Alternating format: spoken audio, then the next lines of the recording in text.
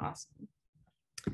So usually we like to start, um, I'll just say this for the recording. Uh, my name's Anna. I'm the co-chair of the Austin Democratic Socialists of America, and this is a joint training with Austin is Safer When uh, to talk about electoral organizing. We're, we're just gonna cover the basics today, so it's kind of an introduction. Um, we like to start our meetings with community agreements. Um, to you know build relationships and uh, make sure that everybody feels comfortable speaking. Um, so they're not necessarily rules but um, just some guidelines to help people be respectful of each other. Um, one person one mic that means if someone's talking then we're not unmuting um, and talking over them. And i think uh, how this relates to chat it's fine to um, contribute in chat, but when it starts getting to a point of people having like side conversations, um, it can be hard to pay attention to both. And it's almost like talking over somebody. Um, so comments in chat are good. Just, you know, if you start typing out a manifesto, then maybe just uh, raise your hand or get on stack, which I'll talk about. Um, assume people are speaking with goodwill um, we're all here because we care deeply about, um, you know, changing our city and our society at large. Um, not everybody is at the same place in their organizing journey. And sometimes people say things that will probably be upsetting, but it's important to assume goodwill. Everyone here is committed to, you know, building a better world. Um, ask yourself, why am I talking?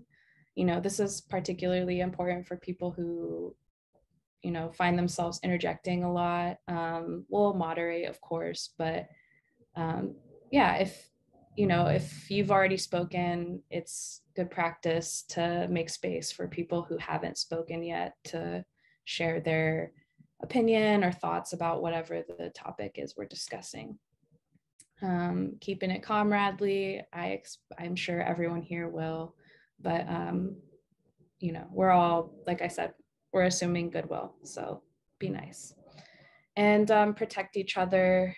It's you know we want to assume goodwill, and if if somebody says something that's upsetting, you know, you don't necessarily want to call them out, but um, I guess people say call them in. Um, it's okay to speak up if some something is you know if you feel like some something is wrong or you need to call out some shitty behavior um, that's the last time i'll curse i, I swear. Okay um, so any questions? Uh, feel free to pop anything in the chat. Oop.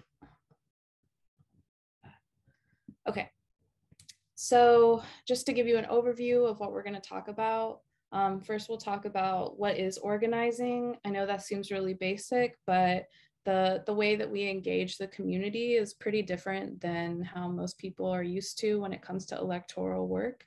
So I thought it's helpful to kind of give a brief description of like how we think organizing is different from what's normally practiced, which is more of like a mobilizing approach um, to winning our electoral goals. Uh, then Jacob will talk about some basic practices, like what actions we take when we want to win these campaigns, and then talk about some more practical tips for these tactics. And then finally, we'll do an activity, and then we'll debrief and get everyone's feedback.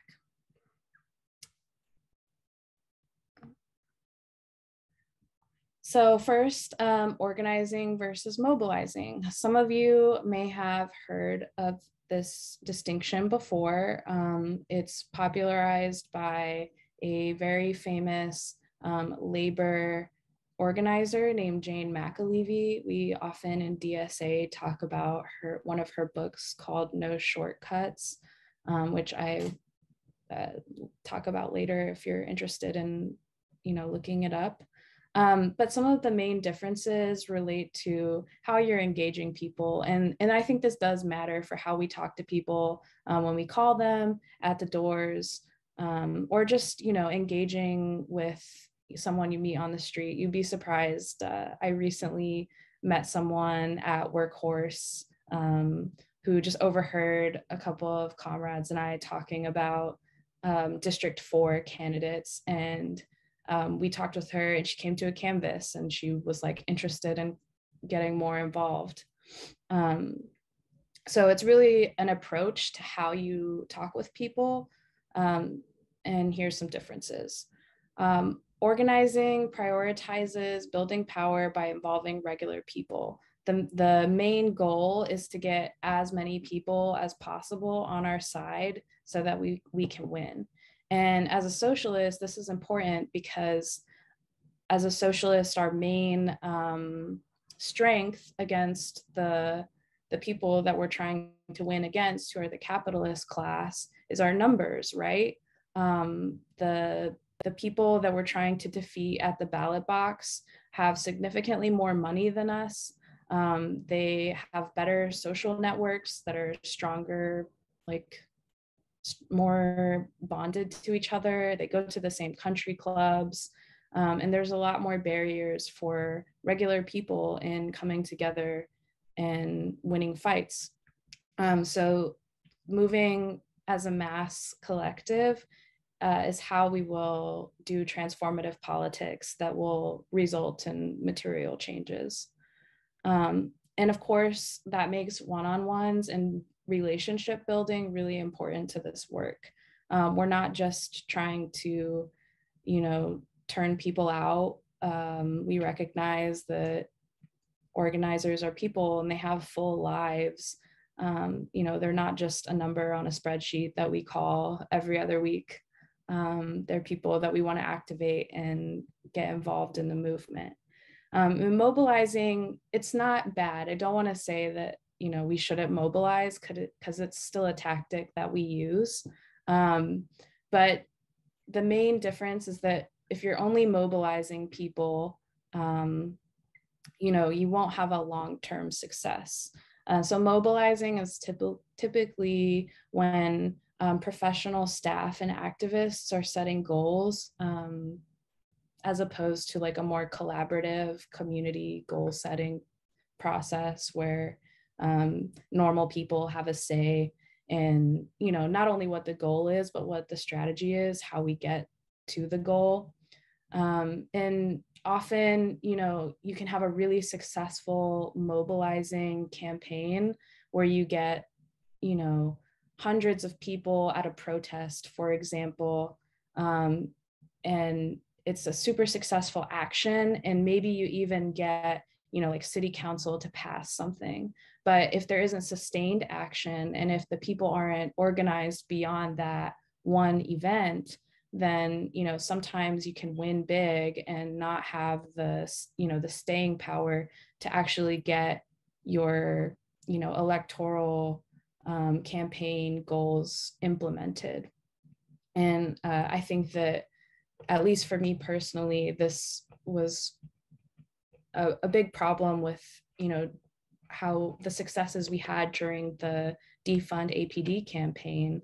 Um, it was great that city council defunded by 150 million, but we weren't organized enough to really as a not just in austin because you know the state also pushed back on that but we have to we have to go beyond that one budget vote um, and the way that we do that is organizing um, yeah so obviously we still need to mobilize people to come to events um, but if the main difference that i want to drive home is that um, the goals that we're fighting for are long-term investments and we're trying to transform our electoral system um, to actually serve people it, and the process is really important.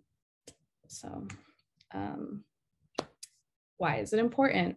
Um, as y'all know because you're here we we need skills like how to talk to people um, to actually have a more democratic state. Um, and so we're always trying to move people into the bullseye. This is from a labor notes uh, guide on how to be a successful organizer. And so you're always going to have people that are all the way on the outside that are hostile. Um, but when we're talking to people usually they're going to be disengaged. Um, and the goal is to just always be trying to move them in in the circle to you know not everybody is going to be a dedicated activist. Um, it's just time consuming and requires a lot of enthusiasm. But to the extent that you can be moving somebody who is just completely um, disillusioned with the political system from disengaged to a supporter. And then you know they see over the course of several campaigns that oh wow this group is um, they're really out here in the community. Um, they're talking to people and they're they're winning. And that might later motivate them to you know step up and take on more responsibilities.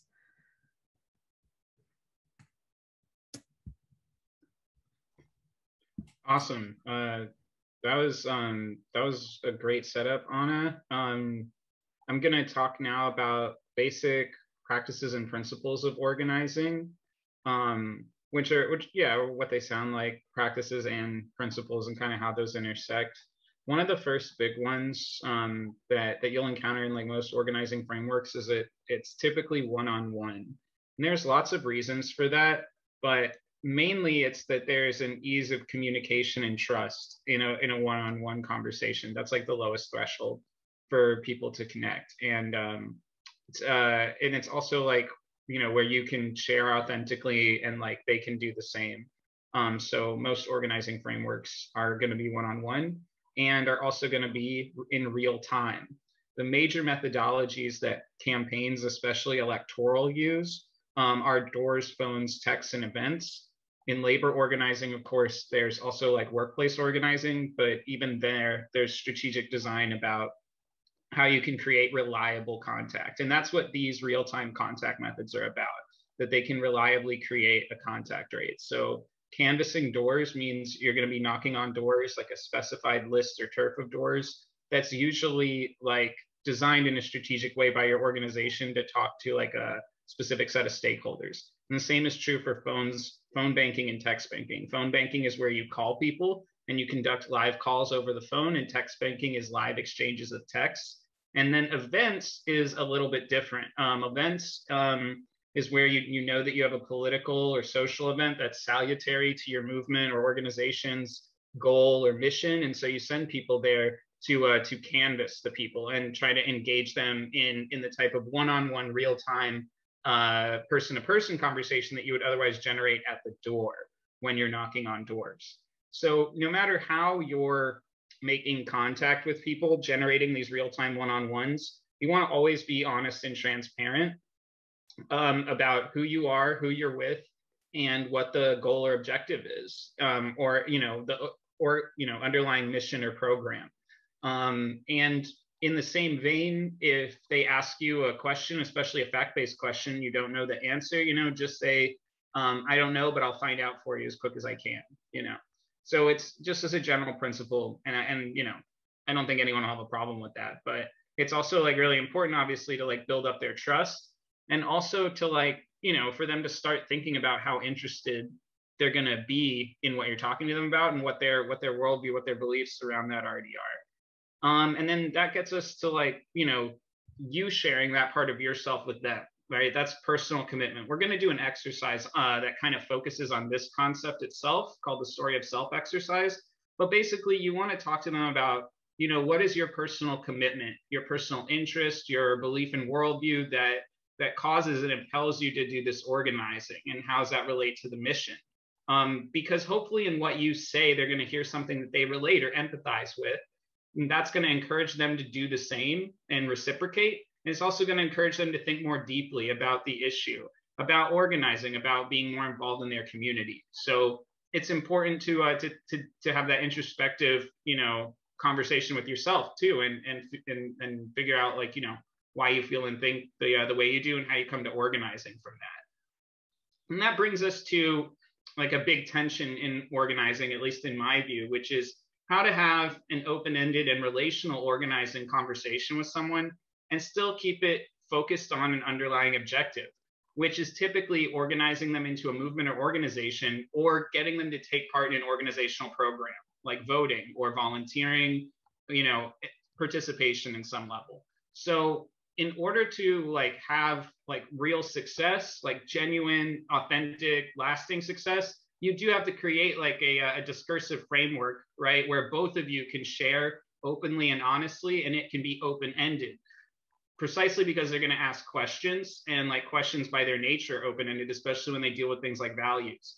On the other hand, you have to you have to like keep the discourse guided and like on topic in a general sense and like be focusing on how you know the things that they're sharing the things you're both sharing relate back to like this underlying issue or campaign and why that motivates you both to action so um yeah and, it, and it's a difficult tension to resolve that like will a lot of times come down to you know the the organization um, the mission and the uh, the stakeholding group that you're talking to. Um, is is organizing like you know about channeling people's feelings toward ends, or is it more about finding out who they are and what they need, and how your organization or movement can meet that and synthesize with that? And uh, that's that doesn't have an easy answer, you know but it is um, i think it's a big kind of principle to, to think about when you're organizing and generally you know you want to lean toward learning more about who they are watching how much you know you're talking versus how much you're listening um and and trying to like you know really find out about uh, about them and, and what they think and believe and so that takes us to concerted action toward a common goal which is kind of the underlying crux of what we're trying to generate with um, with organizing right so so um concerted action is, is like you know, kind of like what we want them to to be continuously engaged in. It's more than simply voting or signing up to attend an event. We want to engage and involve folks in an ongoing collective enterprise, like an organization, like a movement, like a campaign, toward the accomplishment of like a set of discrete goals or the execution of a program on an ongoing basis. And that's like what a common goal can look like, right? But it can it can look like a lot of things. Um, concerted action looks like membership, chronic or continuous participation in activities, group planning and strategy, like Anna was talking about, being involved in like the, the strategy and the execution, um, dialogue and group communications on these topics, and solidarity with the group in public actions and messaging. And common goals, like I said, can be as simple as like electing a representative or as complex as like running a community space or, or something programmatic like that. And finally, like a big part of, of organizing from this perspective and really even for like more mobilizing uh, even for mobilizing is continued engagement so coming back to our number two methods of contacting them um, again and again and offering them like new opportunities or like news about goals and programs that we're doing that correspond again to like their interests and like their, the worldview that we've learned about from them um, thoughts and questions I guess, because that was kind of a big download uh, before we were going to jump into tips and tricks.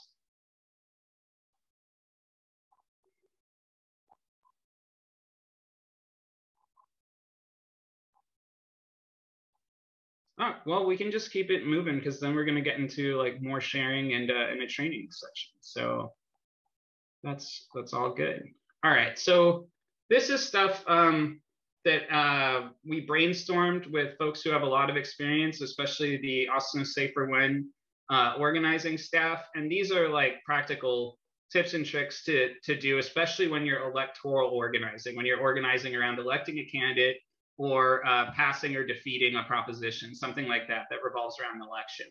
Um, and this this part is a little bit resourcey, so sorry if it's a little long, but uh, people can refer back to it and read it, so that's good. Um, you always want to reiterate the candidate's name and the office that they're seeking, or the initiative's name. You know, make sure that they know what you're talking about and how you want them to vote on it, or you know, you know how your organization wants them to vote, so to speak. Um, always reiterate the dates, you know, of early voting, election day, as well as well as where they can get like more information about where and when to vote and how. That's really important.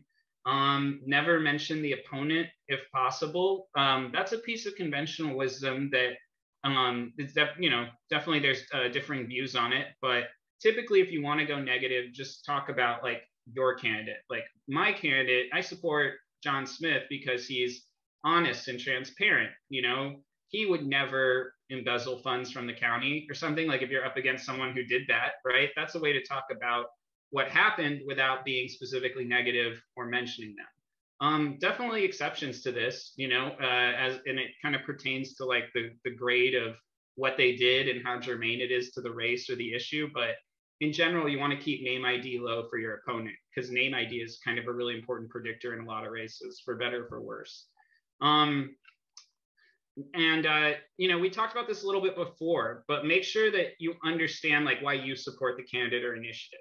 That's going to inform your story of self. That's going to be like the key way in most cases how you connect to another person is like what you share of yourself and how vulnerable you are with them. That's going to, you know, let them get to know you a little bit and make them more comfortable doing the same. Um, and and it's and it's frankly just like one of the most persuasive things, you know, because uh, that shows that that gives them a, a chance to relate, you know, and kind of see how they would benefit too. Um, you always want to log your results. I mean, I think this applies to all organizing, but especially, you know, on electoral, you're often going to be using the voter activation network or another digital system. So you just want to always log your results door to door or on the phones or while you're texting. And that's how the campaign of the organization is going to take um, take advantage in future action of that work you did. You know how we're going to do continued um, contact and so on. Um, and and this one, this one, I uh, next one I think is is also like informs some of the others. You know, um, it's important to research and understand the issues and the history underlying your candidate or your initiative, um, because uh, and we talked about this earlier about the open-ended way that a lot of organizing conversations go is people are going to talk to you back, and only one of you is on a script. Um, you're on a script, but they're not. They're going to ask questions. They're going to have thoughts and and different feelings that that you know you can't prepare for all of. But the more that you know about what you're talking about the more ready you'll be to answer the good questions they have and like convince them to be confident in the endeavor. Um on the other hand like just with a script and some basic research you're going to catch a lot of people cold. So i don't want this one to be intimidating you know? And the best way to build confidence and build skill i think in organizing is just going out there and trying and doing it so on the other hand, I don't want y'all to feel like this one's like a barrier or like a hill to get over before you can start organizing. But it will make you more effective the more that you know about what you're talking about. Okay. Uh, yeah. So similar vein, right? Uh, really similar vein to the last one is confidence is really important when you're organizing. Training, research, other forms of preparation, and doing it uh, will build your confidence in the uh, in the field, and this is often uh, key to like effective presentation and therefore being effective. On the other hand, like I said, doing it is a great way to learn it and gain confidence, especially when you do it with an organization um, or a group of individuals that do it a lot and can teach you the ropes. So don't be afraid to get out there. Don't look at this as like a hill to get over, um, just something to build up and something to practice in the field. Um, another bit of practical advice know the endorsements that your campaign or your initiative has gotten because prominent groups and individuals have name ID and they have like a sort amount of public support of their own, their own base in the community, ideally, I mean, hopefully, right? And so mentioning them in support of your candidate or campaign will help to garner that. Um, and, and it's important to know. Um, also, this, this one's kind of like some of the other ones we've already touched on, but like it's a little more practical. And that's like the office that they're running for, their platform, and what can be done make sure that you're not over promising basically. Know your candidate's platform know their promises how they plan to achieve them practically. Um, that can be difficult and it can be difficult to synthesize when you're at a door with somebody but it will like help you explain you know practically uh, you know what the goal you're trying to achieve is and how you're going to do it. And uh, and i think that's important. I think it's also like a good way to kind of provide some civic education to folks out there where you can talk about you know how a legislature is going to produce an outcome with a law etc um, and and i think that's important for organizations to look at when they're when they're doing their programs in the first place. So um, it's also going to be some of the first questions you get a lot of the time uh, especially from the from the most informed voters. Um, that was another big download. And so we want to hear from y'all. We know a lot of y'all have organizing experience. What are some tips and tricks that y'all have or things that y'all have learned in your own experience out there?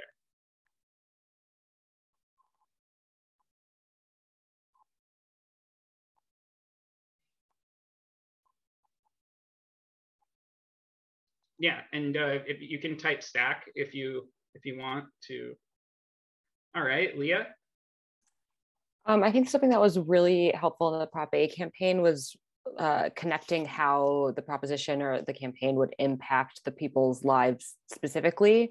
Um, we've really focused on what services someone might be impacted or like what of the services that were going to be cut, which would most um, impact that person's lives. And then people started to really respond positively to our messaging.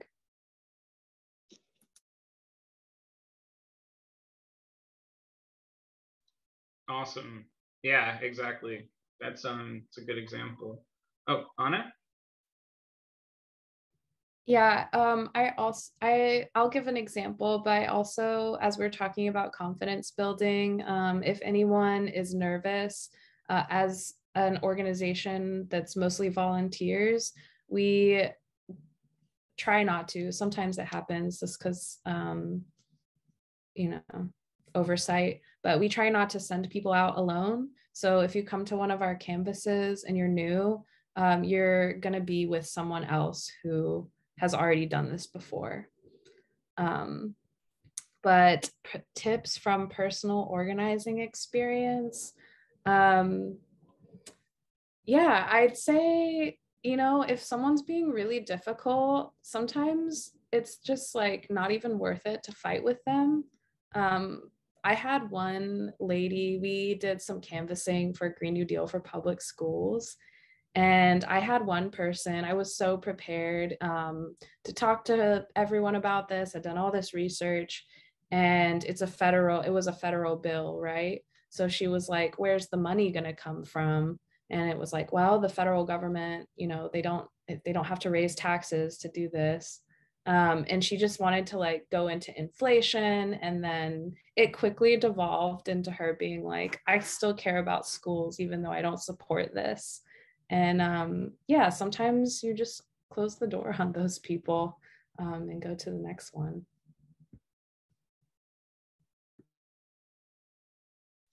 Yeah that's that's definitely true. Like sometimes you just got to call it. Um other folks on stack um hmm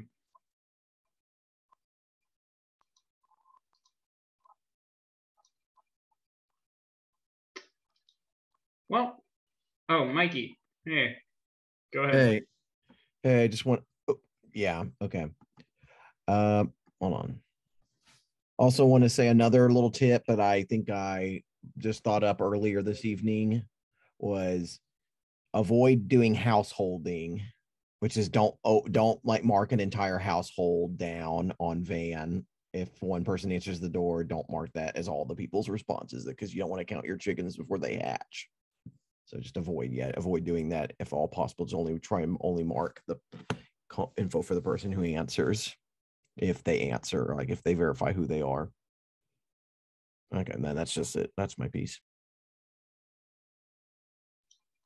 Yeah, yeah, definitely. Um, when you're uh, when you're logging data, yeah, log it individually. That's that is good advice. Um, all right. Well, um, if unless anyone wants to chime in, uh, I think we can move into the story of self exercise. Sound good, Anna? Yep. Um, sure. Okay, so some of y'all might have done this before, but I think it's good to continue doing it again and, um, you know, just evaluating where you're at with what motivates you to do this work. Um, but basically, in this activity, um, you just want to we'll we'll partner off, um, and then you just want to with your partner share for like two minutes, kind of what got you involved in you know doing organizing work. Um, and this is really helpful in understanding like what motivates you and can give you kind of some insight into how to connect with people because you know you have your issues that you care about that brought you to this work and other people you know other people have their issues too. Um, and it it's really helpful in being able to relate your story um, you know not just so people trust you but also so they can see oh this other completely normal person who you know hasn't been training to do this since high school um, is out here. And you know they are making sense and they're confident. And it really helps people see that like i could i could also do this. Um yeah so let me let me, I'm sorry, I didn't have the breakout rooms prepared. Let me stop recording really quick.